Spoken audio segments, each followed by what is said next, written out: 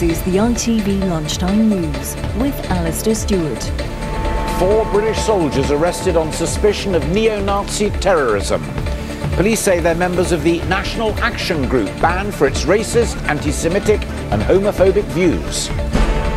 Also this lunchtime, the missed danger signs and warnings ahead of the murder of 21-month-old Aisha by her own mother. Anger at the school gates as councils tackle congestion by banning the drop-off. And Meghan Markle tells a magazine how she's just wild about Harry and calls it love.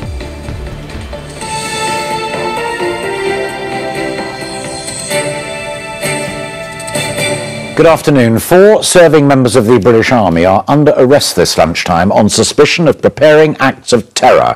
They're also being held on suspicion of membership of the banned far-right group National Action.